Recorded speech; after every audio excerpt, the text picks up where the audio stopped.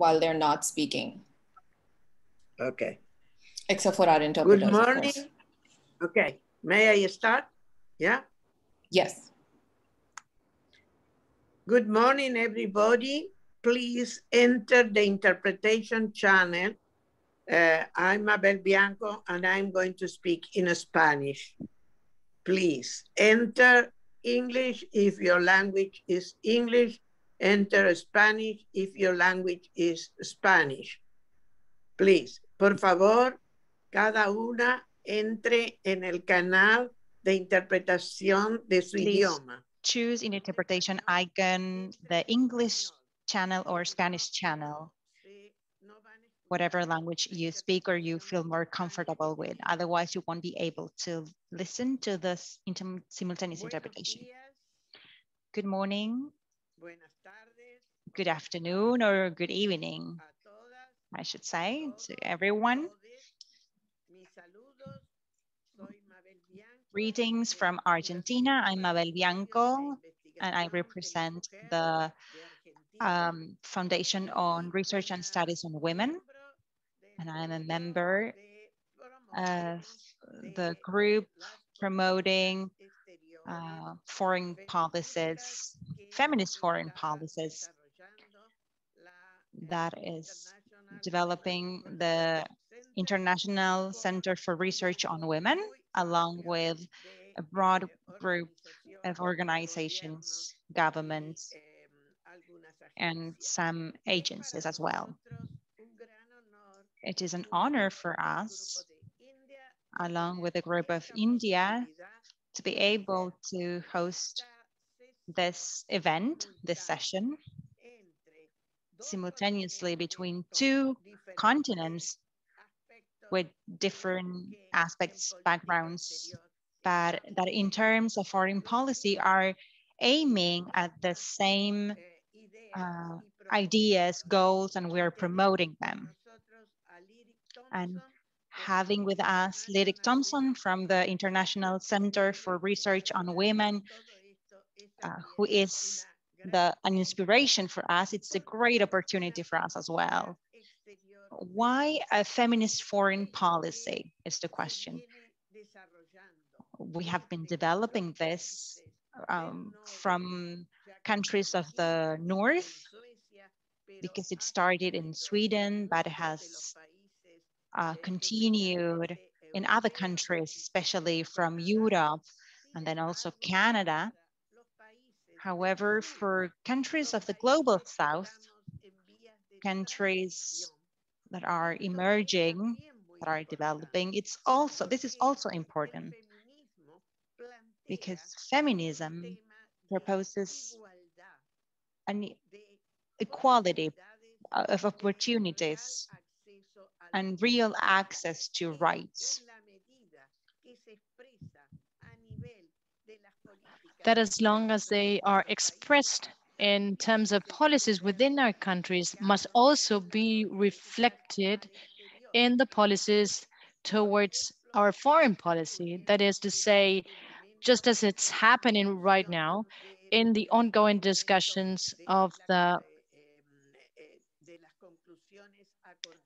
of agreed conclusions document. So we see that at this point in time at the CSW and the uh, CSW I mean, commission, a committee, there's a huge and major difficulty in finding consensus regarding terms that for us advocates of women's rights are fundamental and key and actually, these are rights on which we have made progress. However, there are still countries that do not acknowledge these and want to go backwards. Uh, so as long as there are foreign uh, feminist foreign policies that may be adopted in these countries, this may be translated into a certain coherence between what should be domestic policies and foreign policies.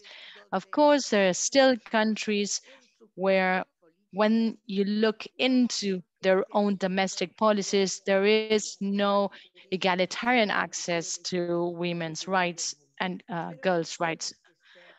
But still, this should be a goal and aim because Beijing 25 years ago, 26 this year, gathered us, summoned us, and allowed for us to find a document with consensus that we still find hard to reach.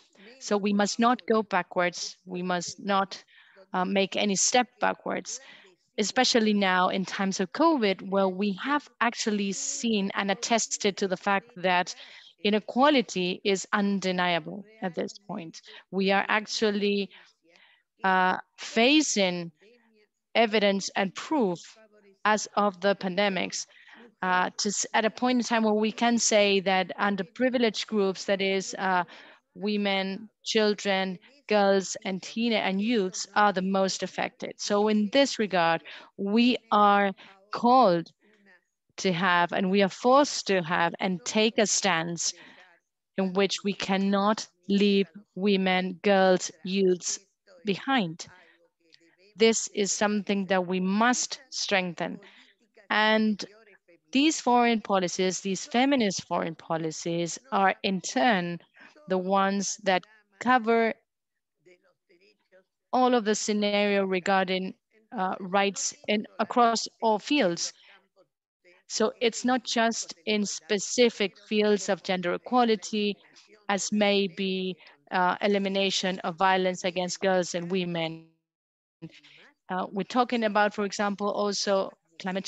So we as women need to be there as well with our position and stances, advocating uh, in favor and to protect climate change, and not just as a mere uh, way to comply to norms, but as an opportunity for every country across the globe for us women to have access to this scenario and may be able to actually be able to achieve be able to achieve a true status of change. Where we may have this situation of not leaving any women who are actually or currently working in rural areas, who are farmers, who are indigenous uh, women they also should have a voice and should have a space to raise their demands, especially in regards to climate change, poured into the reality of each specific country. And we need to also end extractivism or extractivist activities that uh, activities that have put us in a position of persecution of Aboriginous communities as well. And they are not only persecuted or um, taken away from their ter uh, territories, but also criminalized. This is why they need a feminist foreign policy, in, especially in the countries of the global south, especially in the countries which have not had this level of development. And this is why today we want to address this topic with those leaders who are in a position to uh, fighting from their own governments for this. Because the side of having an increased participation of women what we are really interested in is looking into the content of these policies that we are trying to put forth and want to advocate for in this CSW and of course, we're going to uh, also advocate for this at the high level political forum and at each sphere where we are working uh, in and taking our voice. So this is my message. I want to thank you all for this possibility, for this opportunity. And unfortunately, due to personal reasons, I'm going to uh, have to leave this session before it ends. I apologize for this. Uh, this is something that is outside of my uh, scope of possibilities. Uh, there was no way uh, I could change this, but uh, duty calls, but uh, there is a lot of great experts. so please, you have the floor. Thank you so much. Thank you very much, Mabel. Um, that was um, given us lots of uh, things to think about. But before we go ahead, I'd like to first introduce uh, this excellent stellar panel that we have. Um, as Mabel said, from across the globe. Uh, uh, I'm Ambika Vishwanath, and I'm speaking on behalf of the Kubernein Initiative, and we're very excited to partner with Mabel and her team on this event. Um, at Kubernein Initiative, we've been doing some research on what feminist foreign policy might look like from an Indian perspective. And so this is very exciting that not only do we have somebody from India to be able to speak about this, but also somebody from Jordan, Argentina, and Mexico, which it's it's a very interesting makeup because all, all, these countries other than mexico all the other three countries other than mexico haven't quite embarked on this path yet. And the whole conversation around a feminist foreign policy and more gender inclusion in our foreign policy is seen from at this point more countries in uh, in europe. So what is it's really exciting to see what kind of uh, views uh, some of these other countries might have to change or to influence or to sort of bring different insights into that conversation and how we might then make this conversation a lot more inclusive going forward. So um, I'd like to introduce our panel um, and then invite our panel members to say a few words before we then open it up to, to questions um, from the audience. Uh, I'd like to invite Dr. Cristopher Valdés, and I apologize if I'm saying that wrong, to speak first. Um, he's from the Ministry of Foreign Affairs in Mexico. Was that, was that all right? Um, and then we have uh, Miss Ana Emilia Sarrabayrouse, who's the Director of Women and Gender Affairs, also at the Ministry of Foreign Affairs in Argentina. Uh, Ms. Priyanka Chaturvedi, who's a Member of Parliament in India, and Dr. Maysoon Zoubi, uh, international water security expert and former Secretary General Ministry of Water Affairs in Jordan and a very good friend of mine. So I'm very pleased to have Maysoon on this panel because she and I have worked in this space in the Middle East for many years before. So it's a very different and interesting perspective that I'm excited to hear. But I'd like to invite Dr. Cristopher here um, to speak first. Um, especially since uh, Mexico is the first country, so to speak, in the global south to embark on this path. And we'd like to hear more about where Mexico came from um, when they decided to, to embark on this path. And what are some of the lessons that you've learned um, as, a, as a country? And, and what are some of the insights that you can give then some of the other countries that might be looking to sort of join this conversation and this movement? Dr. Cristopher. Thank you very much. Good morning, everyone. I'm gonna join Mabel's invitation to speak in Spanish if you, should you agree. So, and especially I'm, I'm really glad to share this panel, especially with countries that don't usually speak about feminist foreign policy. And for us, this, this is really important. So I'm gonna change to Spanish now. Buenos días a todas. A todos, un placer estar Good morning, everyone. It's a true pleasure to be here uh, as part of this panel.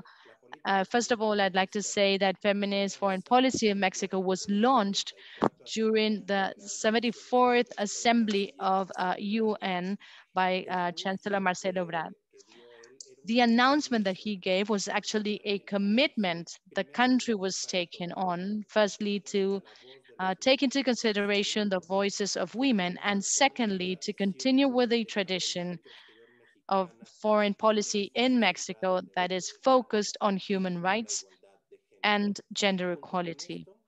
Along with this, part of the new uh, narratives of the current administration in terms of foreign policy refer in the first place to an opening to international scrutiny. Secondly, to the promotion of the highest standards in terms of human rights.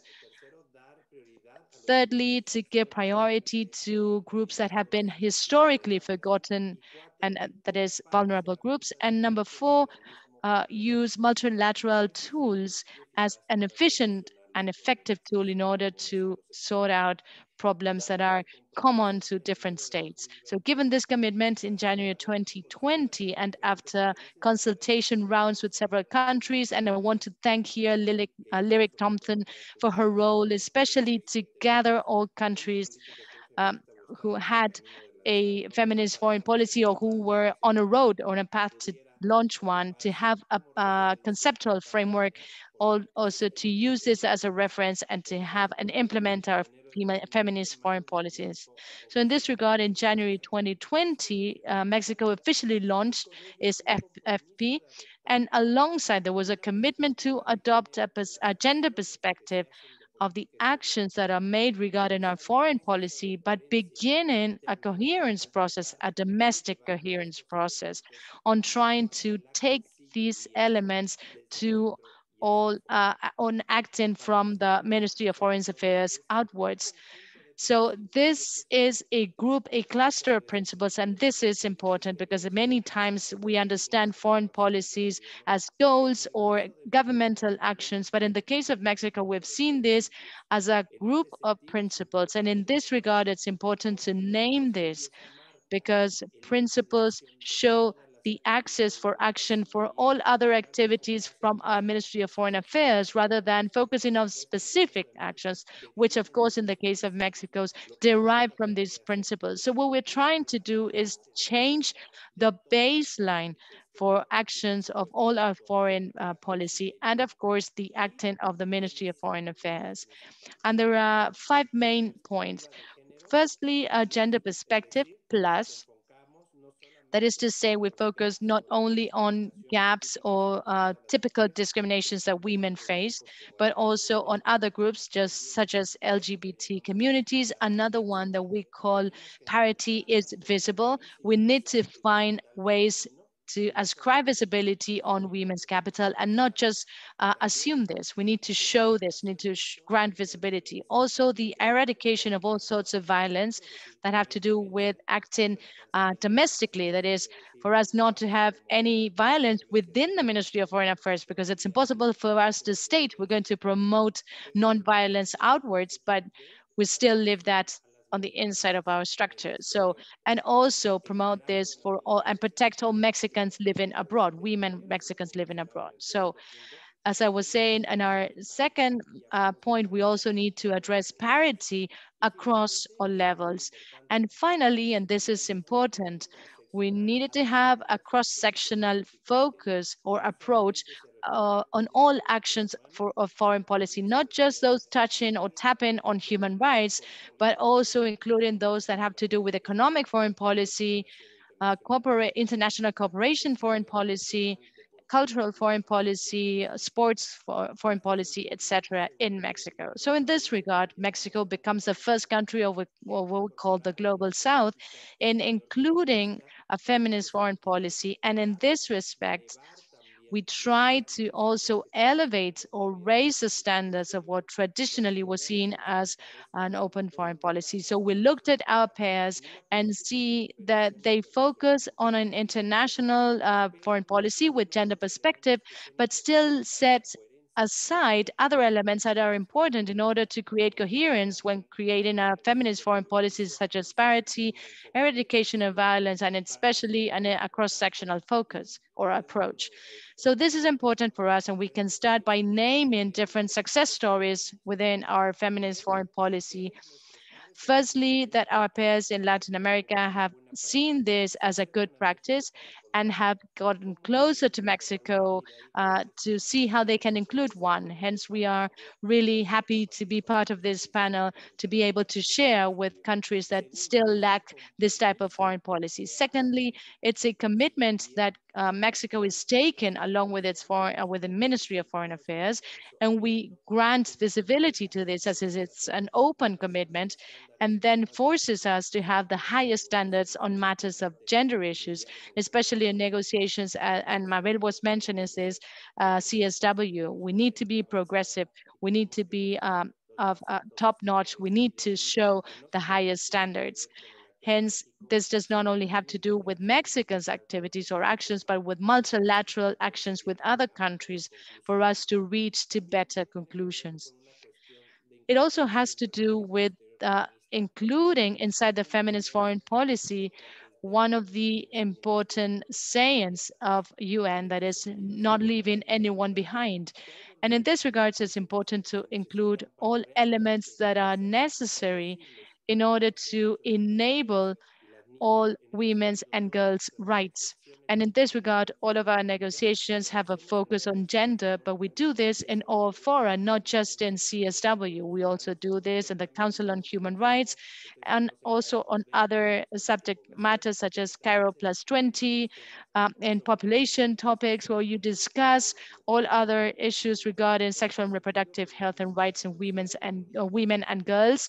So we um, believe that by announcing a feminist foreign policy calls for a domestic reflection first and then a bet on the commitment from all governments to be uh, progressive and to look into progress. So at the end of 2019, during the development of the uh, party's um, conference on climate change, number 25th, taken, uh, taken place in Madrid, Mexico placed as one of its elements human rights and especially on the advancement of uh, gender policy in negotiations. So the role and leadership of Mexico was highlighted not just by uh, peers in the government, but also by the civil society organizations. And also seeing how it's uh, possible by one government to uh, lead this movement and reach conclusions that may benefit uh, all other countries. So uh, we reach the inclusion of a gender perspective and hence the relevance of a country alongside other uh, countries include this variable to move forward on these issues. So I know we have very, uh, I mean, time constraints, but all of these elements from our ex Mexican experience can be of good use for all of you. And especially one, those countries who want to include a foreign, a feminist foreign policy, and two, for all members of the civil society to better understand the role of a foreign policy in the advancement of rights of girls and women. So I would really like to now give the floor to all other panelists. Thank you very much. Thank you, Dr. Cristopher, also for um, sticking to the time. That's always um, welcome. Before um, I move on, as, as a, a, power given to me as a moderator, I'd like to ask one question to you, um, and then I'd like to move on to, to our panel member from India. You mentioned um, domestic reflections first, and I think that's very, that's very important because a lot of the countries um, present over here are, are, are sort of grappling with this issue of how do we talk about you know a feminist foreign policy when we have so many issues at home whether it comes to you know gen, um, gender pay gaps or violence or um, several other issues especially that we've seen cropping up in the last year especially so I, what is the one learning that you might and i'm sure there are plenty but what is the one learning um, or or sort of takeaway that you might want to share with um, the other panel members and then everybody else who's listening over here on, on what this means of, of having a domestic reflection um, and how you put that into practice. Muchas gracias. Uh, es las reflexiones. Thank you very much. The reflections should be should remain constant because we must admit this. Uh, international negotiations tend to go faster than the capacities of government to address the issues uh, in terms of women's rights.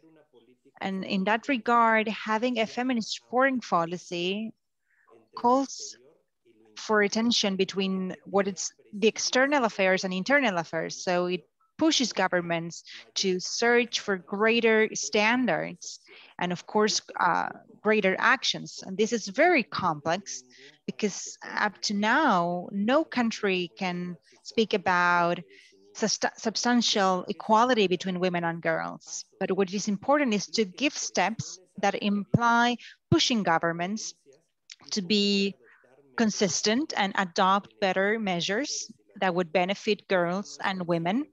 This is not something simple because uh, international negotiations have certain dynamics and domestic affairs has a different dynamic. So we should have, we must acknowledge that there are tensions and that we are working together, but in, but ultimately we work for, to make a world better for women and girls. So domestic uh, reflections tend to vary. Uh, they lead to tensions within the government and the social stakeholders. but it's something natural. It's, uh, but we believe that it's worth trying. So in that regard, we think it's important to do it. And we acknowledge at the same time that there are certain sessions and challenges at national level, but we need to start from somewhere uh, to achieve um, uh, gender equality. Thank you. Um, thank you. That's, um, yeah, as you said, very complicated, but definitely a path to embark on. Uh, I'd like to now bring this discussion to my side of the world and invite Ms. Priyanka Chaturvedi to, to, to give her thoughts on what this might look like or what this means um, from, from an Indian perspective. And, and if you could um, pick up a little bit on what Dr. Cristopher also said about this um, sort of balancing out what it, the, the whole domestic issues versus what is happening when it comes to our foreign policy, because India does have a pretty good um, sort of um, when it comes to our ODA uh, and putting a gender balance in that, it's it's we're, we're faring pretty good not always by design, sometimes by default. Um, but how do we then create that balance? And if India were to embark on this path of a feminist foreign policy, what might that look like? Okay, uh, yes. Firstly, firstly, thank you so much, Ambika, for having me uh, as part of this important panel on gender equity and uh, talking about feminist foreign policy, which does not necessarily need to do uh, something with regards to uh, you know women leading the change, but it is something to do with women having a voice, having an agenda, and women uh, having equal representation. And that is where I think, and inherently over the years, because I come from a part of uh, the world where inherently over the years, women are made to believe, conditioned to believe uh, that they are not meant for tougher roles. And tougher roles would mean defense, uh, diplomacy. And diplomacy, even if we're talking about diplomacy, foreign affairs, we're looking at it at a very junior level where we are talking about soft power, using a soft power. And in our minds as women, uh, tending to believe that uh, we are meant for these soft decision-making skills, human resources, uh, uh, equations with the neighborhood, etc., etc., but not taking these tough decisions or tough calls, which is predominantly a male domain. But that has harmed us uh, considerably and uh, harmed our gender considerably because if you look at the gender gap index, if you look at our representation in various forums, it is much lesser than the rest of the world. And that is why I think empirical research would tell you that uh, whenever we have more women in these spaces, it helps the economy, it helps social development of a society, and it helps build up communities as far as security and development of a nation is concerned. So I quite agree with Dr. Cristopher when he says, first, if we maintain an internal balance, we strive to work towards that. We strive to bring in more representation in our own workspaces, and we uh, pull down those barriers that have been built over the years that there is a softer role that women can do in foreign diplomacy. There are tough decisions that women can't take. That has to go. That, that is what you need to pull down. And but these countries, like I appreciate what Sweden's doing, I appreciate what Canada is doing, US is looking towards that. We have quite a lot of representation in the new US government. Uh, we're seeing it in Mexico, but we, they cannot, as a, as a globe and as various countries are part of uh, democracies as well as, uh, you know, as part of the world, we need to ensure that half of this world's population also has a voice, also feels safe, also has control over her own choices. And I come from India, and India, if you look at the South Asia uh, region too, South Asia region too has also seen uh, women uh, being, um, I would say, made to believe that they are not good enough. They they are not uh, they do not have enough representation. Percentage of representation in political spaces very low. Uh, unfortunately, even the, the UN report suggests that uh, women will be pushed into poverty due to COVID lockdown. So those are various uh, factors that have, and then the domestic violence of it all has also created uh, challenges for women to take forward. So if as a whole, uh, you know, I would say as the universe or as the countries who form a part of uh, this discussion, we need to stop working in silos and appreciate some other countries while we appreciate other countries. We need to incorporate this within our own nation And I think it would do India a whole lot of good if we have more representation. It is a dichotomy that is in India that uh, we have witnessed in India that India sees, uh, has seen the first uh, woman prime minister, we've seen presidents, we've seen speakers, we've seen foreign minister, we've seen defense minister. But how does that percolate down in terms of representation is very dismal. So if we look at it from the perspective of how we lead in terms of uh, gender equality globally, I think India, and when we give more power to women, there is another thought process also that comes into how we resolve differences, we resolve foreign policy challenges, defense challenges. It is not just about war and peace. It is something that we do when there is no war. During peace times is more hard work. And I think women would complement that entire uh, space. And, I, and that is why it becomes a bigger case for India to lead from the front and um, take this entire initiative forward. So I would, all, all I'd like to uh, say this before I conclude is that uh, as 50% of the world's population, it is imperative that we just do not have these dialogues, rather we moved in that particular direction and take lead in at least South Asia to uh, be able to show that gender equality can also lead to some real-time solutions and solutions which um, could be different, could be out of the box, because, simply because women have not been heard till now in these spaces. So giving them that power, that authority to be able to do that. And I quite agree with Dr. Cristopher on most of the points he's made as far as having women in representational spaces is concerned and decision-making spaces is concerned. Thank you, Ms. Chaturvedi. I, um, I agree. I think during peace, the, the job becomes a lot harder. And, and what can we do then to, to elevate that space and to create um, more space for the voices to be able to come in um, becomes the real challenge. Um, I have many questions to you, but I'm first going to go to um, Miss Ana Emilia, uh, Sarrabayrouse, I hope I'm saying that right, uh, to tell us what the view looks like from Argentina. I know there's been a lot of movement, especially since the, the huge march that happened in 2015, where thousands of women took to the streets, um, along with a lot of men also, but predominantly women. And there's been some change happening in Argentina. So what um, can you tell us about what's happening over there? And again, the same question to you as to what are some of the lessons that other countries might be able to learn from the changes that are happening within Argentina?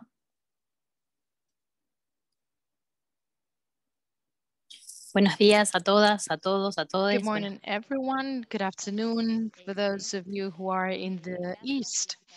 So thank you for the invitation. Thank you, Mabel Bianco from FEIM. Thank you, uh, Kubernein Initiative. And of course, uh, thank you, ICRW. And thank you for the question, actually, because as of what uh, Dr. Cristopher mentioned, I, I, was able to reorganize my intervention. And I think we have some sort of complementary, if you will, situation. As you know, since uh, 2015, as of a major mobilization of the civil society and feminist movements in Argentina, women uh, took on the streets and took to the streets. Uh, this means that uh, the last administration, that government um, of Dr. Alberto Fernandez, and when he took uh, office, he translated this uh, mobilization in favor of uh, women's rights, but actually in favor of life itself, because not one, not one more means no one more femicide.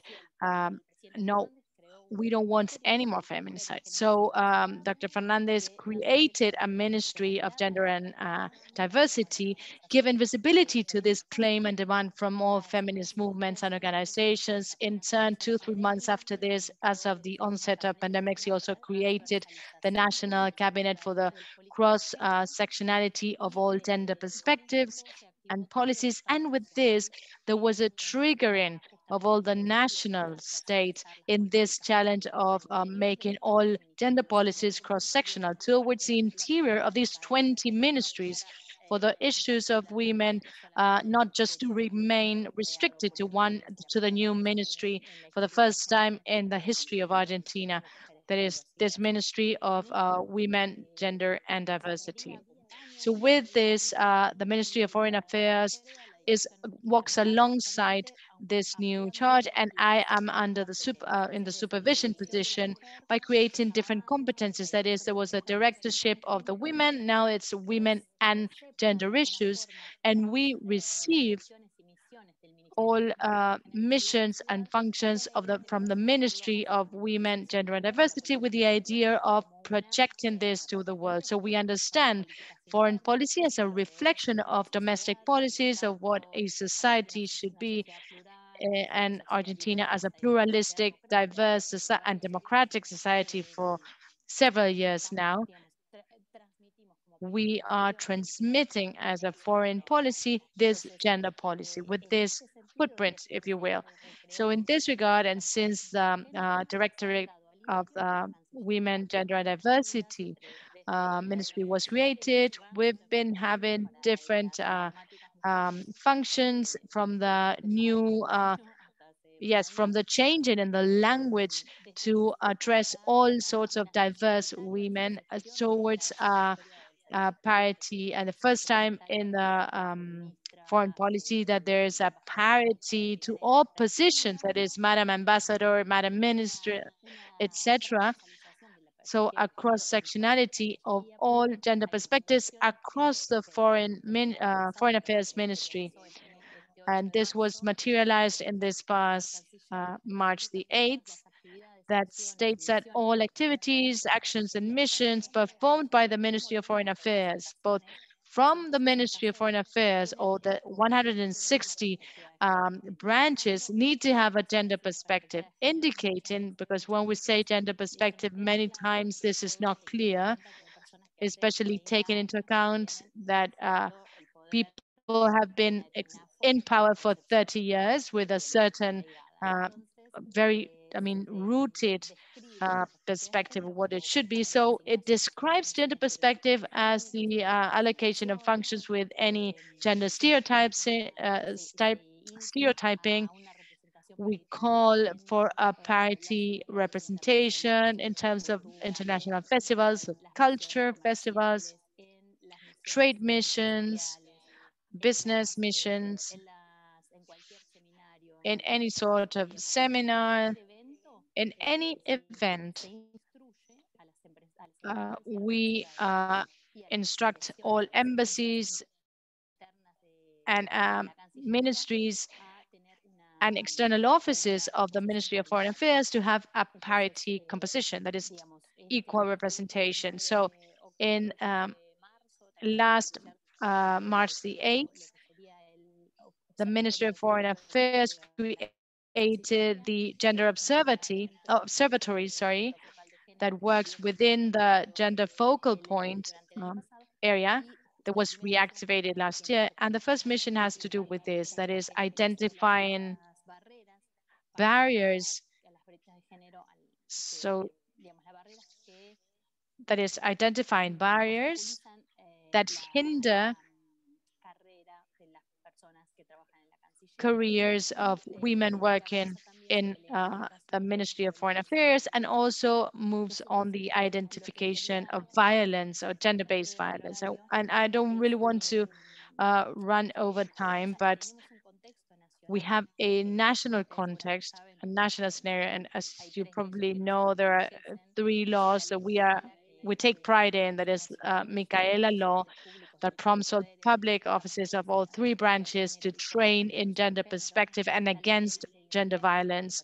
Then the um, gender identity law that allows all individuals to be identi identified and to be given a name as of the identity they call that they, they choose to have. And then the legal and um, legal and free right to abortion uh, that consolidates the right of women to decide on something as basic as their own bodies. So this is a national context, a national scenario right now.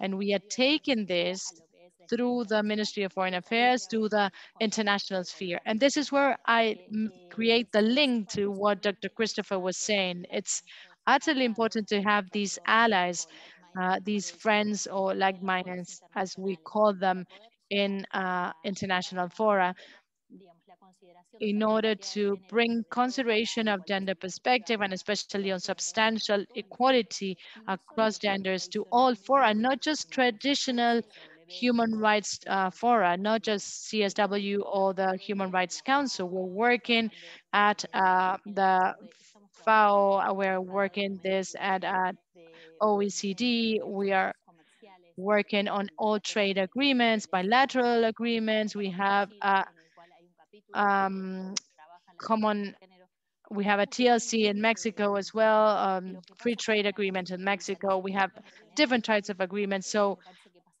I think that it also happens with teams and the economic uh, business sphere. It's a masculine, it's a masculine oriented or male oriented sphere. So after so many years, when we had only two female um, ministers of foreign affairs, and then we we find that it's very difficult to bring down this structure. So when you say having a feminist foreign policy, we do have a certain footprint of foreign uh, feminist policies in Argentina. We are making a strong and stable uh, movement forward, if you want, in this parity path because this is indeed an instruction and uh, an order within uh, uh, what in terms of foreign policy and uh, within all fora, but we believe that parity is not enough. Feminist foreign policy calls for a certain or different approach. We need we need for uh, the policy to be built from a feminist perspective feminism poses equality, feminism poses uh, the bringing down of, uh, of hierarchies, social hierarchies, and also the ways uh, of the different ways of organization. And this last second national plan for action of the 1325 uh, was done in a feminist way. It was built the feminist way because it involves 10 ministries and many areas of the Ministry of Foreign Affairs as well. We had several meetings. All of the voices were listened to. Uh, civil society was there. The academia was there as well. Um, women's movements were there. Women movements were there as well. We all made our contributions on identifying actions we believed could serve to uh, meet this resolution. So this month we're going to submit it and uh, I don't really want to continue uh, with my intervention because I'm really interested in, in learning about the other interventions and, and, and STEM in debate as well. So I coincide and agree with my colleague from Mexico. We appreciate from Mexico uh, having taken the lead, uh, starting in this feminist foreign policy. It's a uh, very use very useful for us because we have an attempt of domestic feminist uh, feminist policy. And having Mexico as an ally in those fora allows us to go across borders and beyond our borders with this perspective. So of course, I thank him and I believe that clearly, as I was saying before, uh, parity is key. It is absolutely necessary in decision-making processes, in representation, in all spheres in order to think from a different perspective, but it's not enough. Parity is not enough. We need to build from the grassroots of politics that may be different. We want to change everything, basically. The world as is right now is not working well. Um, so clearly, as Mabel was saying, we need to get out of this uh, cumulative extractivist model and then deconstruct this higher social hierarchy. So that's where we are, are right now along this path. Thank you. Thank you. Um, thank you, Ms. Sarrabayrouse. There's um, very interesting points you raised over here. And I, and I see uh, Ms. Chaturvedi was um, nodding along because to let you know, she recently in the parliament also made an intervention about some of the specific issues that you talked about, especially um, a woman's rights to her own body. So I feel like there's a lot for, for the two of you to speak about. Um, and I, and, I, and I especially want to highlight what you talked about um, bringing a gender perspective across all ministries. Uh, I think that's very important because unless we are able to do that within our own countries across the board, ha just having one ministry that deals with this issue doesn't necessarily mean it's going to trickle across our policy making frameworks um, um, when it comes to other areas, um, like you mentioned, economics or defense, security, uh, and, and other areas. Um, but so that I don't take up more time, I'm gonna come to our last um, speaker for this panel before we then, there's already some very interesting questions that are coming up. Um, but I wanna uh, pick up on something that you said about taking the lead and uh, ask uh, Maysoon from Jordan if that is something that Jordan might be able to do in, in the region that it's in, giving some of the internal issues that I know um, Jordan has as well, not unlike what's happening in Argentina or in India when it comes to um, you know the issues faced by women, violence, uh, pay gaps, um, and then Jordan has the added problem of, of um, of conflict um, and refugees uh, that are in there. So there's a whole host of other different um, problems that Jordan is facing. But given some of its uh, um, progression in the last few years, uh, maybe Jordan is poised to take the lead um, in, in that region. Uh, Maysoon, to you. Thank you, Ambika. Uh, I'm truly grateful to receive this honor and be part of this uh, effort. Thanks for the, all the important work being carried out to enable women's participation in conflict prevention, peacekeeping, pre prevention of violence, extremism, and gender-based violence. Countries that value and empower women to participate fully in decision-making are more stable, prosperous, and secure. The opposite is also true. When women are excluded from negotiations, the peace that follow is more tense, the trust is eroded, and the human rights and accountability are often ignored.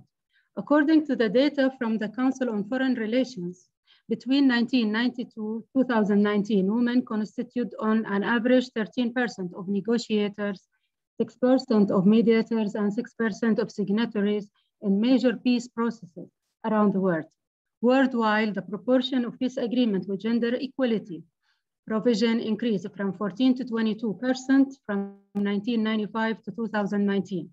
In South Sudan, only two committees have met the 35% of quota for women laid out in the revitalized agreement on the, revolution, on the resolution of conflict in Republic of South Sudan. Peace efforts in 2020 have similarly, similarly struggled to include women. For example, women represented in around the world 10% of negotiators in Afghan talks, just 20% of negotiators in Libya's political decision discussions, and 0% of negotiation in Libya military talks and Yemen recent process. These numbers haven't improved significantly since the adoption of landmark UN Security Council Resolution 1325. Uh, in the MENA region, women in the MENA region face gender legal discrimination than women elsewhere, with differential laws on issues such as marriage, freedom of movement, as well as limited, maybe no legal protection from domestic violence. Regional condition, in addition to base discrimination, contribute to significant differences between men and women's participation in MENA economies. Even though women's participation in, is recognized and requisite for sustainable peace and inclusive societies, some countries in the MENA region still lag far behind in women participation in public sphere. MENA, MENA contributes perform poorly as compared to the world average when it comes to the percentage of seats held by women in legislative bodies. 10.4% of seats were held by women compared to 24%, 24.3 globally, and 23% to 6 in the United States. Looking at women representation and participation in peacemaking processes, both state and UN system in MENA have yet walked the talk in terms of increasing women participation in peace processes. In 2014, None of the delegation with, which participated in Geneva Conference 2 in Syria included women. Additionally, in 2015, the global average of women in peacekeeping mission has remained at 4%, 4%, similar percentages to the registered for the, U, for the four UN peacekeeping mission in Middle East and North Africa. Women are underrepresented in political, political position and institution in MENA region to a greater extent than they are in most of the world. For example, some, women, some governments and political parties have attempted to improve the woman representation in legislative bodies by implementing gender quota. Eight countries in the region have some form of quota to ensure women's representation, and those countries have more women seated in lower houses of legislature than MENA average. 2015 was an important year for women and girls. The world celebrated the anniversary of Resolution 1325 on Women, Peace, and Security, adopted by the Security Council in 2000. This landmark resolution was the first initiative that highlighted the need for women's uh, protection from all forms of violence in conflict, as well as their full inclusion. Maysoon, yeah. Sorry, sorry to interrupt, but yeah. the interpreters are asking if you can um, speak a little slower so it's easier okay. for them to do the Spanish translation. Okay, I yeah, thought no, all speak English. Okay, sorry. Even though Resolution 1325 creates a clear roadmap for the implementation of women, peace and security agenda, governments and international organizations have failed to put their commitment into practice. In the year 2015, yet another resolution was adopted, resolution number 2242, which reinforces the importance of women's protection, leadership, and active role in decision making. Now I'll talk about selected milestone in the MENA region about women political representation. In 2011, Buthaina Kamel became the first woman to run for president in Egypt. In 2011, Saudi Arabia became the last country in the world beside the Vatican to recognize women's right to vote following Oman, Qatar, Kuwait, and UAE. In 2014, Iraq adopted region's first national action plan in support of UN Security Council Resolution 1325 on women, peace, and security, followed by Jordan, Tunisia, Lebanon, and Yemen. In 2015, the UAE elected Dr. Amal al-Qubaisi, Speaker of the Federal National Council, the first woman to serve as a Speaker of legislative body in the Arab world. In 2018, Sarwa Abdel Wahid became the first woman to run for president in Iraq. In, in January 2019, Lebanon Raya al-Hassan was appointed the first female interior minister in the Arab world. In February 2019, Princess Rima bint Bandar Al Saud became the first female ambassador to represent Saudi Arabia. In January 2020, Lebanese Zaina Akar became the first female minister of defense in Arab world. Now I talk about Jordan. Uh, Jordan women in Jordan constitute 47.1% of the total population in Jordan. The Women in Politics 2009 map ranked Jordan 132 out of 193 countries, mapping women's political participation in parliaments worldwide. This rank was achieved through the gender quota system adopted in 2003, where Later revisions to the system increased to allocated seats for women from 6 to 15 parliamentary candidates as part of the 2012 electoral reform. Jordan ratified the revised convention in the elimination of all forms of discrimination against women in 2007. Women were granted the right for voting and candidacy for lower house and parliament and municipal village council in 1947 and 18 1982 respectively.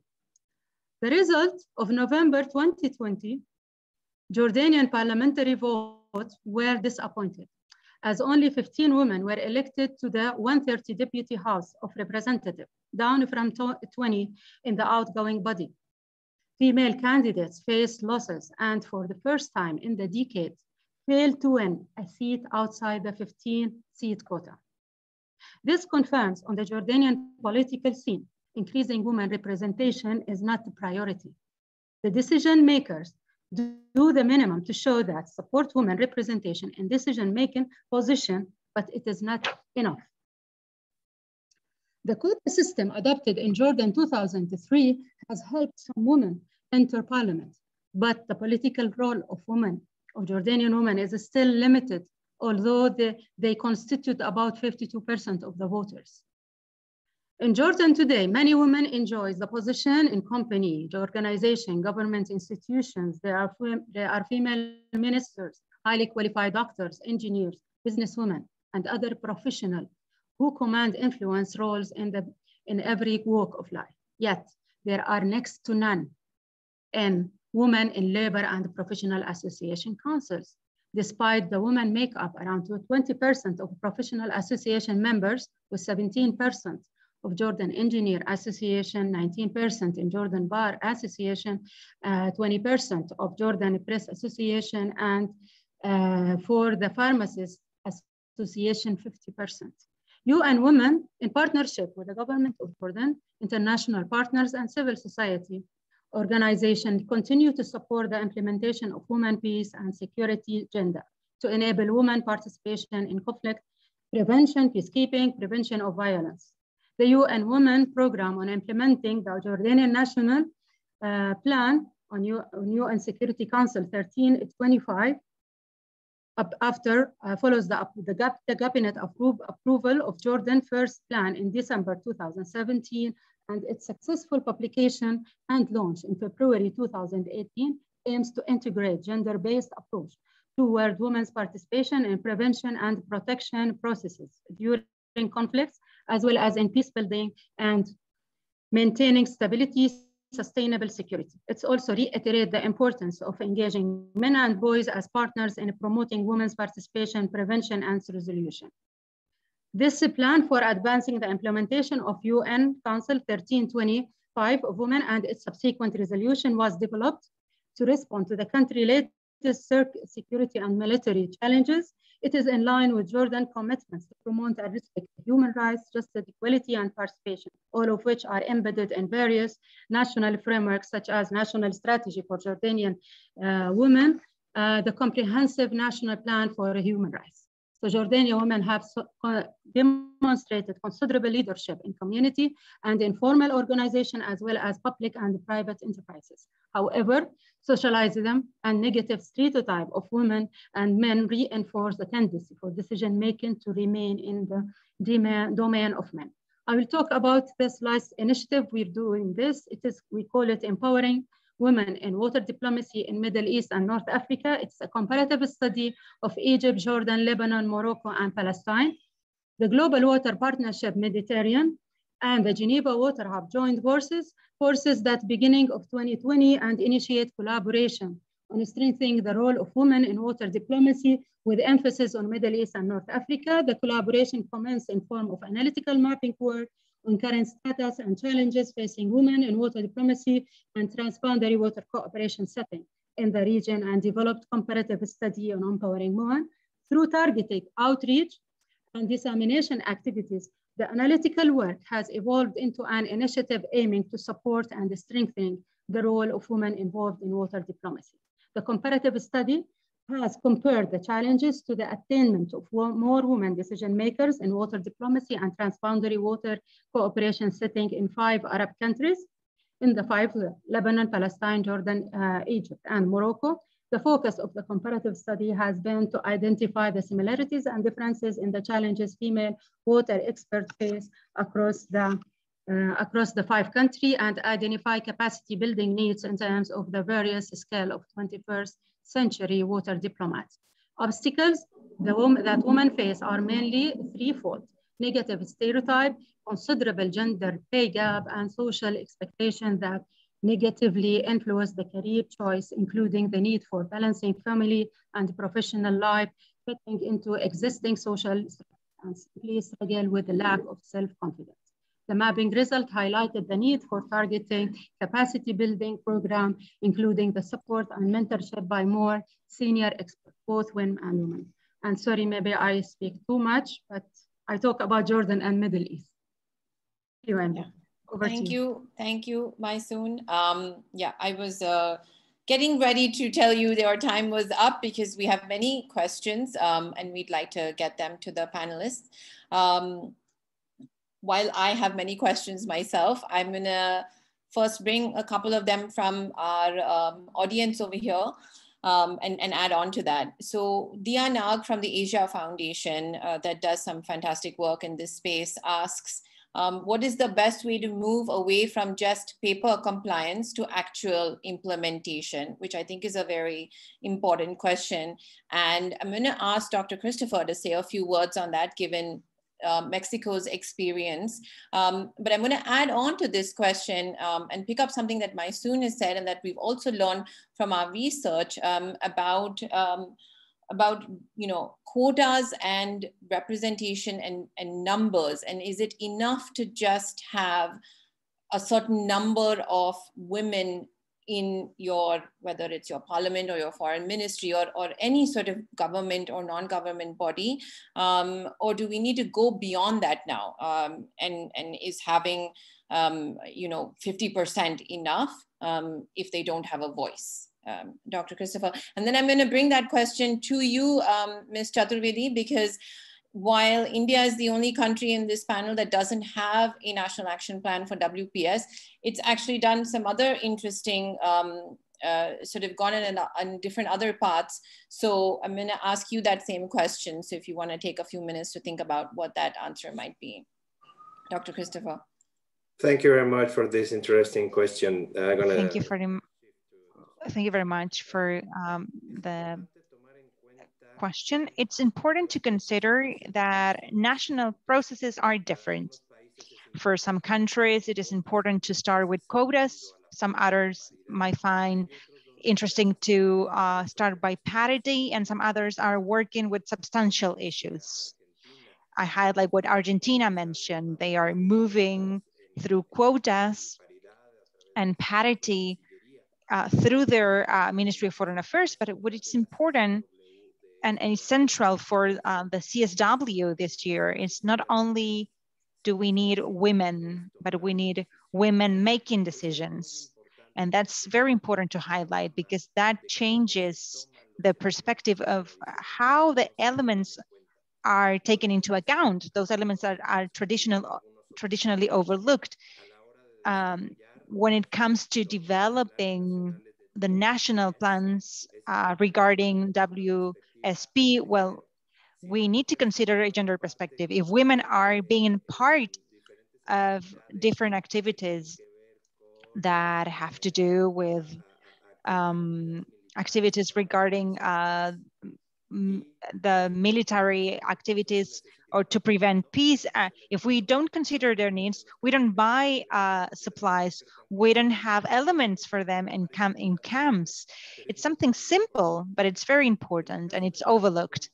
In the case of Mexico, we are mobilizing not only with quotas, but we're also talking about parity, but we also should move, mobilize and say it's not 50% is not enough.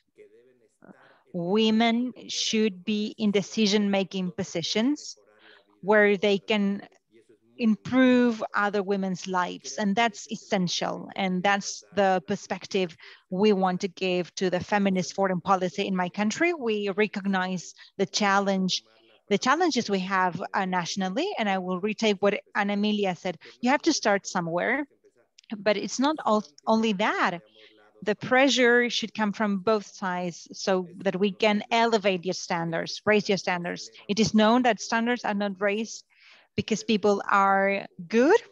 It's a, it, they are they stem from joint work, and we at the Ministry of Foreign Policy we decided to take on our role and push to have consistency between the national policies and the international policies, and that's very important.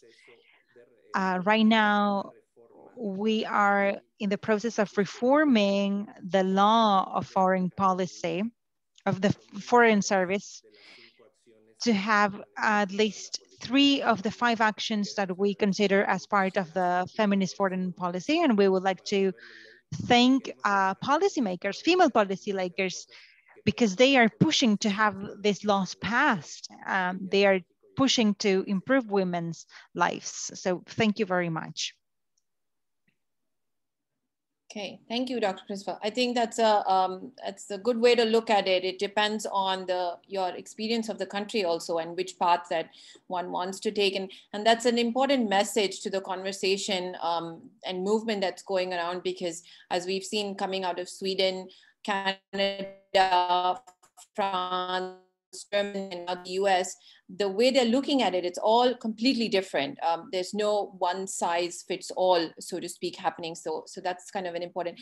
Um, Ms. Chaturvedi, to you, but I'm going to add on a little bit because there's a very interesting question over here um, uh, from Jennifer Bonilla Lozano, um, who says, how do you see the role of parliaments in making sure that there is some sort of coherence between internal and external um, policies with a gender perspective? And I'm going to um, let you answer that, given your role in the parliament in India. So firstly, if I may begin on a light-hearted note, uh, I've become a fan of Dr. Cristopher. Every single word he has spoken is such a refreshing thought coming from the male perspective, wanting parity for women and having not just women representation, 50% representation, giving women the voice and the decision-making space. So I'm a fan. And, uh, and it's a very refreshing change to see an entire he for she campaign. And this is where I think India would uh, do a lot well if we had 1,000 Cristophers in India in these uh, decision making spaces who uh, speak up for women and speak up so passionately for uh, re- gender representation. Uh, on, a, on the other side of the debate, uh, where India is concerned, when our Constituent Assembly, which was again male dominated, but also had female representation, when we decided that we, when we give fundamental rights to all. There was equality in mind, and we believed that uh, the constitution would guarantee equal access, equal opportunities for uh, you know cutting across gender barriers. However, it did not happen, and that is when the quota system was implemented at local governance levels. Of course, there was criticism where they said that women are there is representation, like Dr. Cristopher was saying, but there was not authority uh, that came along with it. Decisions were being taken on behalf of them by their uh, spouses. Um, so that was one challenge. However, if you look at the change that the quota has brought in, uh, you'd realize that we've got a lot more representation at local government levels, uh, in spite and despite of all the barriers, the mindset that comes across that women won't be able to take these tough decisions, would not be able to survive the uh, rough and tough uh, political space, they, they've managed to hold on to their own and set really good examples. Uh, as far as parliament is concerned, I think parliament needs to be, women need to rise above their political differences. And I think it uh, applies globally that where women rise above their political differences, make this about gender, make this about representation, make this about having a collective voice. Until we don't speak together to have this kind of representation, I do not see uh, men making that space. We do not have Dr. Cristophers in India, though they have the intent, but we do not have them in those decision making spaces. We've had the Prime Minister speak about it. Unfortunately, we have not spoken about how we are going to increase this representation. So, uh, in terms of political spaces like uh, uh positions uh, in political uh, spaces we've seen in India, they have come from smaller regional parties uh, because we have a strong federal structure. Uh, we can uh, debate about federalism, etc. But we have a strong federal structure which has smaller parties, and those parties have given representation to women of their own accord and managed to give women uh, political space and a political voice to be able to uh, speak up for women.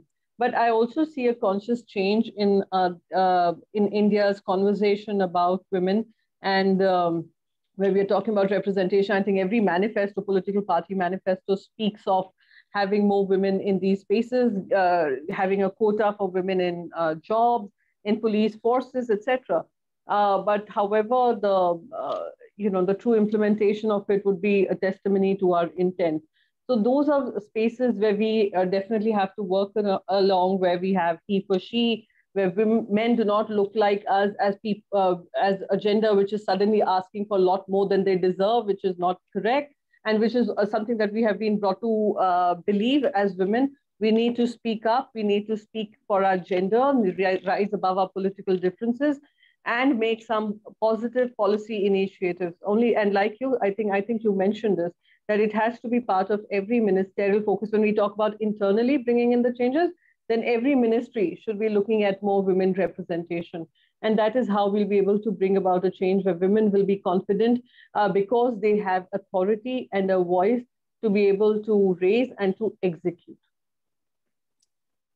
Um, thank you, Mr. Smith. I think that that um, sort of uh, opens it up uh, when I'd love to, you know, continue this discussion for the next few hours. But I want to ask um, uh, Miss Ana, um, this uh, sort of a, um, a spin-off of this question. You talked about um, the first step being the need to define gender, and I and I and I and I and I want to ask if you can elaborate a little bit on that because the conversation again while it's happening, there is also that tussle between using the word gender and the word feminism. And I want to ask, what has the experience been in Argentina? And why did Argentina decide to use the word gender? And what sort of definition did it sort of um, come up with? Maybe that is something that will aid then you know a country like india or jordan or any of the others um, around the world that might want to embark on this path um, and and move forward.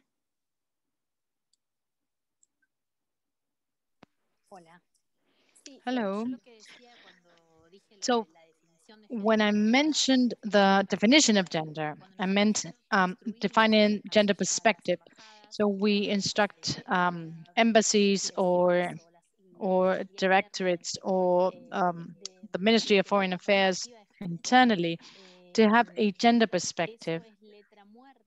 That is a dead um, thing if it's not if it doesn't go alongside some sort of training for colleagues to maybe able to identify and, and see which those gender stereotypes are. So when we say that functions should be assigned or allocated by virtue of the interest of people or the training that people may have, and not based on gender stereotypes, then we're saying do not give uh, an embassy to a woman because she may be more charismatic or because she may be she she may be empathic, um, but rather give her that if she really earns that in, in light of her training, in light of her desires, in light of her objectives, because otherwise all cultural uh, venues are uh, probably headed by women and then political um, affairs or economic affairs or the head of mission is a man. So to bring down those gender stereotypes implies not just instructing them to do that, but rather explaining to them and then train them. And in this regard, since last year, we've been implemented uh, Micaela law and bringing it into the different ministries. That is to say, training in gender perspective. We understand that gender is a social construct different different from differentiation between man and woman that exists in nature, that is biological difference for many years was loaded with a gender stereotype.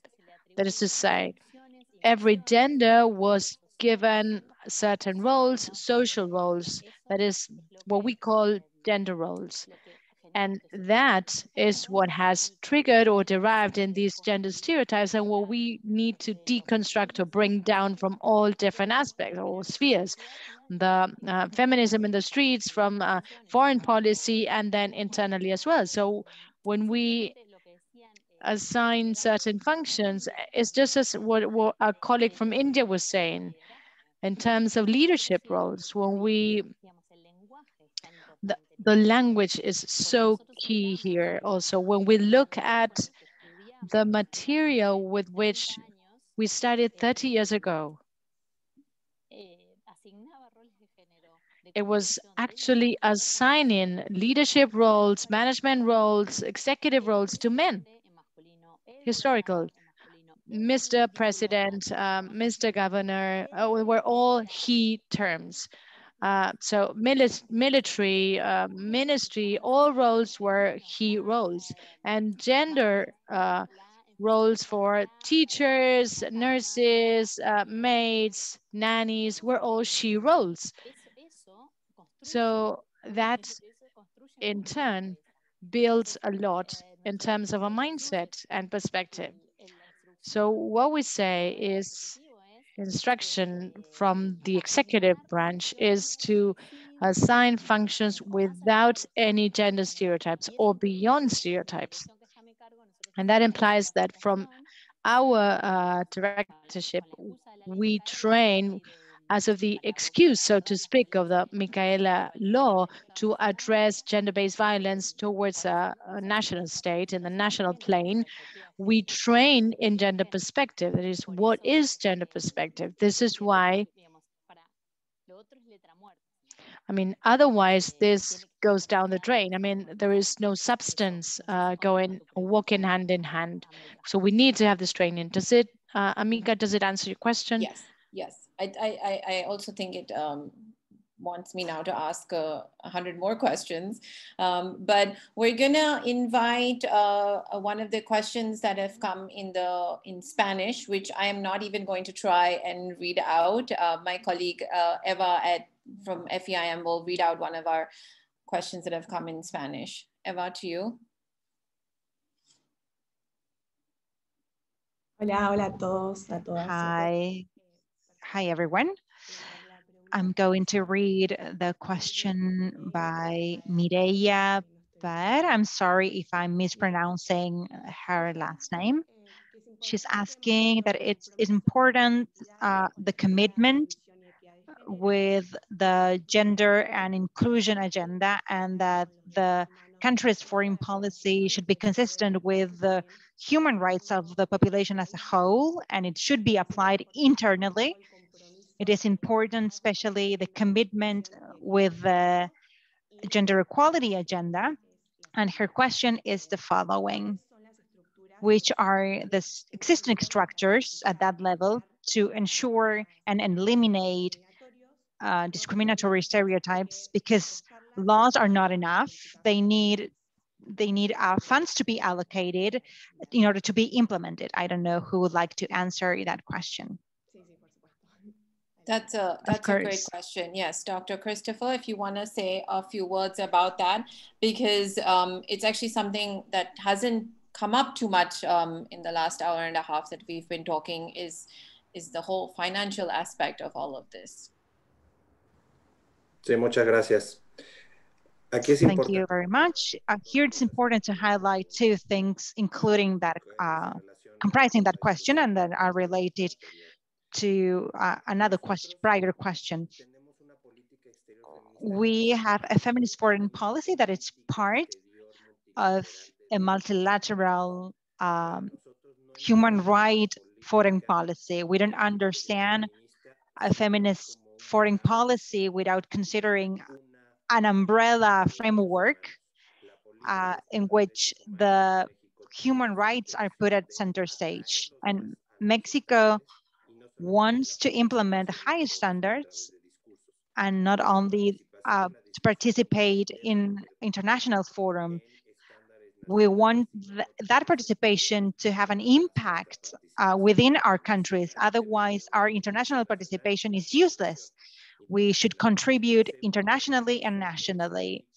And on the other hand, we innovated and to the question of when do you label something as gender or feminist policy? When we discuss about this with ICRW, uh, with other countries that were building on this type of policies, some countries have a hard time talking about uh, feminism and they choose some more neutral terminology, such as gender, and that has to do with uh, a certain dynamic, which is important to highlight is that we wanted, in Mexico, we wanted to go beyond that, and we have a feminist policy plus. What does that mean? That we should recognize other groups that traditionally have been discriminated against. We know that there's great debate within the feminist movement on how to include or not other groups um, such as the LGBT community. And this is something that we acknowledge if we did not include other groups that were discriminated against, our feminist foreign policy would be would be missing something. And so we should acknowledge that within our um, ministry and within our country, uh, there are some other groups that have been traditionally discriminated and deserve to be recognized within the framework of human rights. And in terms of uh, funds, it's a complex debate. And we also know that we understand that at times when we don't have money, well, when you're as we say in politics, your priorities are reflected in your budgets. What we want to say is that there are many policies or many government actions that can be done with zero budget. And what do we mean by that? That we should have a series of programs that are that oriented to elaborate a budget. And here it's important what I mentioned before. Mexico's foreign policy is a set of principles. Therefore, it's important to modify structures and some may need a budget and some others may not need them, not, not need that. And that's a, an internal debate in countries. Uh, I'm paying a lot of attention to what India and Jordan and are mentioning, how this debate is taking place in the Middle East and in Asia and how these discussions are taking place in other countries where we are discussing social structures, well, it is important that we note not just by giving allocating funds we're going to change things. We have to change the social structure as a whole. Because if it prevails well we are perpetuating old practices and we need to change that sometimes with direct action, sometimes with budget, and sometimes by changing principles. And that's all I have to say. Um, thank you, Dr. Cristopher. So the platform is going to end very soon. So um, before we close the event and I invite uh, Lyric Thompson from the ICRW to, to say a few words, I want to just come back to all our panelists um, well, uh, Ms. Ana, uh, Ms. Uh, Chaturvedi and Maysoon, to just, if we, if you had to say one thing to the international community um, that's already discussing this topic from, from your country's perspective, what would that be? How do we make this movement more inclusive? And I'm giving all three of you um, ladies one minute exactly, because otherwise we will just be unceremoniously um, removed from this platform. So one minute and I will be timing you. Um, Miss, um, Miss Sarrabayrouse.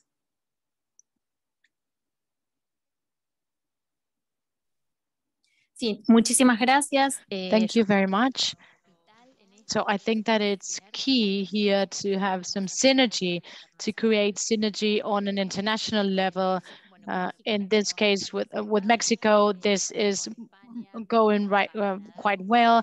Also with Spain, Canada, Costa Rica, we are creating and developing a lot of synergy. I'm interested in creating more synergy with India and of course with Jordan, if this were possible. And because this in turn will actually help us in order to uh, exert further uh, force. And I was really identified when Cristopher said that uh, ma many countries cannot say that we have a feminist foreign policy. We cannot say that at this point in time because we don't really have one and because it would create lots of hindrances, lots of criticism. So we'd rather go step by step uh, going for parity first, raising awareness on gender uh, perspective, for cross-sectionality of gender perspective across the all ministries. And, and we will support on our colleagues and friends uh, for, um, for us to be able to go a little bit further towards uh, substantial equality and women's rights in all international fora. Thank you very much. Great, thank you. Um, so synergy um, across countries. Uh, Maysoon, um, one, one minute. Okay, Ambika, thank you. Uh, we in Jordan, we have a very good policies. We have a very good legislation, laws. The problem is with the culture. I think we have to, it's long, longer road to, to, to begin, but we have to work from the family. How the dad uh, treats his mom, how the son look at his girl's sister, Uh, if you look at the curriculum of the school, you see uh, the woman, she's washing uh, dishes and the men reading newspaper. This is small things. When they talk about the good stories, they talk about the men. They never mention good success story of women. But this is the thing, how it changed. Yani we have a lot of very good, even when they write the quota, it's written that will not present the good woman.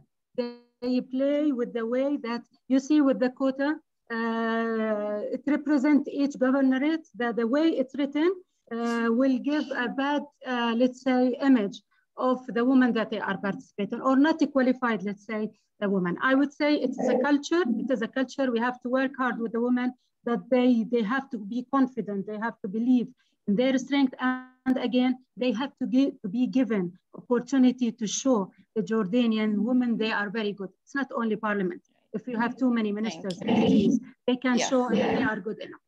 Thank you, Ambika. Absolutely, Maysoon. So, so as we understand, everybody needs uh, a thousand Cristophers um, in their country. Uh, Dr. Cristopher, you're very much in demand.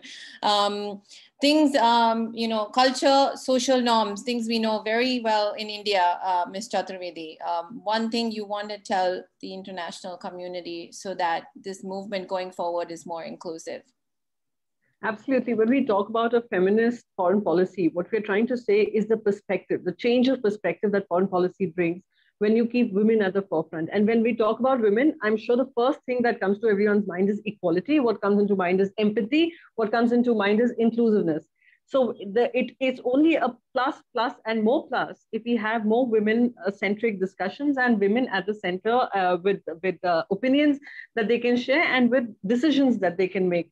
So all I'd like to say is India, uh, of course, has its, uh, there, there are a bit of negatives when you look at the statistics, but in terms of uh, being able to be vocal, being able to prioritize this agenda is something which uh, will create a platform uh, which will have more women in such spaces. And most importantly, uh, when we speak about networks, when we speak about building networks across nations, we need to build networks within the nation to be able to rise above as a gender.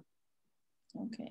Thank you. Thank you. That I think is very important, especially when it comes to a hugely diverse country um, like India, where there's many, many things going on.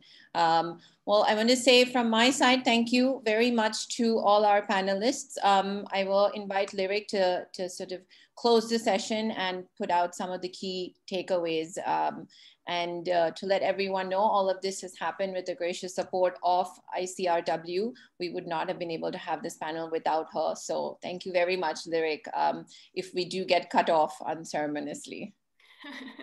and thank you, Ambika, and to all of our hosts um, at Fundación FEIM and Kubernein Initiative. We're just so thrilled to be a part of this conversation as it's very much a, a, our goal in this work as we study the evolving field of feminist foreign policy to disrupt some of these myths, one of which is that this is just a tool of the global north. And we are so thrilled um, to support this conversation and to share it out and to amplify these important messages and perspectives.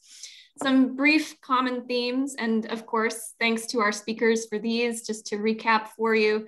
Um, I'll first quote the Honorable um, Ana Emilia Sarrabayrouse, who said that parity and representation is important and obviously an indicator that gets focused on a lot in this, in this conversation.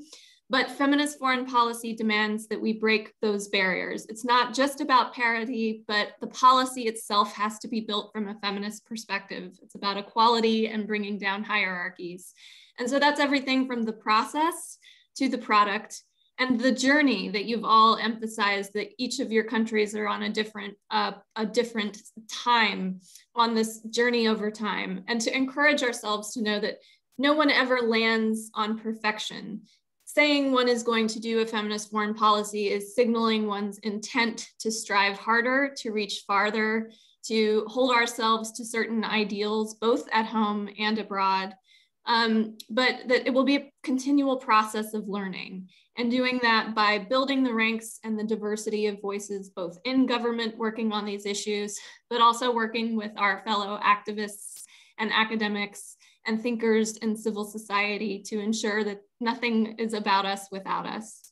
Um, we had a lot of conversation on domestic and foreign policy coherence, which is very important piece of the framework that I have shared in the chat, um, which has been co-created and constructed with a number of the partners that you've heard from today. We get in there a bit on the question of whether to call something feminist and land that not all policies need to be called feminist, but if you are going to take that step, it's signaling a higher level of ambition, inviting, as Dr. Ballinas said, scrutiny and a conversation about that. And that really where we want to go is to feminist plus, which I think was also Dr. Ballinas's word, um, not just about women's rights, not just about gender, but how are we using this as a tool to disrupt those hierarchies, to transform power relations, and to be able to say, at the end of that implementation process, which of course never ends, um, what changed?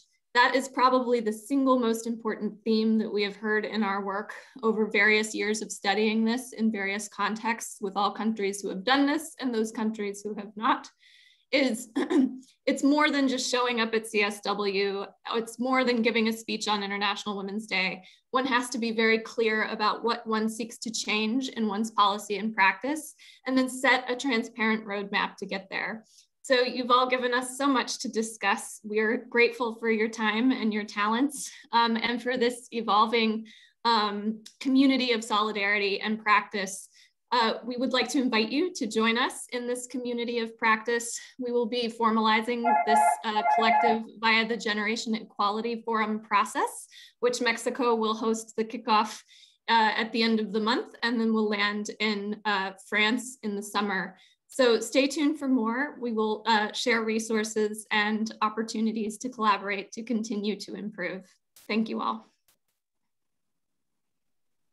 Thank you, Lyric. Um, just to reiterate, the Lyric has put the link in the chat box of the framework. Um, we are also looking into the framework and how we may contribute to that from an Indian perspective um, and, um, and what uh, we need to do within India to sort of bring this whole movement across. So I have to say, Dr. Cristopher um, and Ms. Sarrabayrouse, your experiences are very valuable and we'll definitely be reaching out to you to learn more about that. Um, uh, I want to thank all our four panel members for speaking and taking the time um, so early in the morning, all the way in Latin America, and quite this late um, in the evening in India. Um, Maysoon, I think you had um, the perfect timing in that sense. Um, thank you very much, everyone, and um, for this panel, and thank you to all our attendees who asked many, many questions, but I'm sorry I wasn't able to get to all of them. All right, have a good day, everyone. Bye bye. Thank you.